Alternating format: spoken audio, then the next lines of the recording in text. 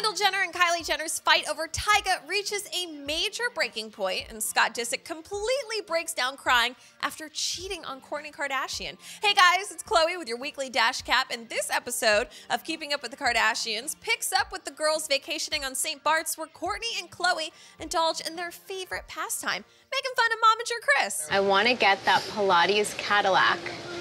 Do you know what that is? I want to get a Pilates machine. But the I want to get Mom, the all you do is when someone top says they want to buy something, No, or, I or if buy it too. somebody says Just- I have just a let Kourtney tell the crazy story. disease. you say I you can't say, move my "Oh my God." I have gonorrhea, Do and you my know that that happened removed. to me? Okay, but things get pretty serious when the girls return home and Scott Disick shows up unexpectedly at Kris's house. Kim, Khloe, and Kourtney give Scott a chance to explain his behavior over the past few months, and everybody ends up breaking down in tears. I'm just so ashamed that like I publicly embarrassed all of you. You guys really did uh, so much for me for so many years, and it, it's just it kills me to the point that I feel like I can't make it up. Clearly, there's still a lot of hurt here, but this apology is definitely a start, Scott. Okay, but moving on to another reconciliation, it's Jenner time. Kendall, of course, has been super angry that Kylie invited Tyga on their girls only vacay and that she's been spending all of her time doing sexy bathing suit photo shoots with T.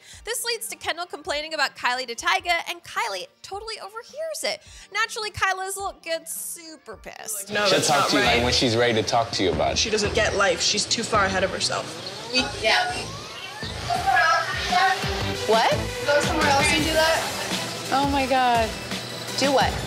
Talk about me. The girls do eventually make up by the end of the episode, so I guess what happens in St. Bart's stays in St. Bart's, or does it? All right, that's our Dash Cap for this week, but make sure to come back every single Monday for more of our recaps and check out Keeping Up with the Kardashians every single Sunday night on E. Thank you guys for watching. We love you all so much, and all we ask so that we can keep making these awesome videos is that you subscribe to our channel, which is so easy. All you have to do is click on me on your desktop or down here below on your mobile device, subscribe, and that's it. See, so simple. All right, begging session over. Bye, guys.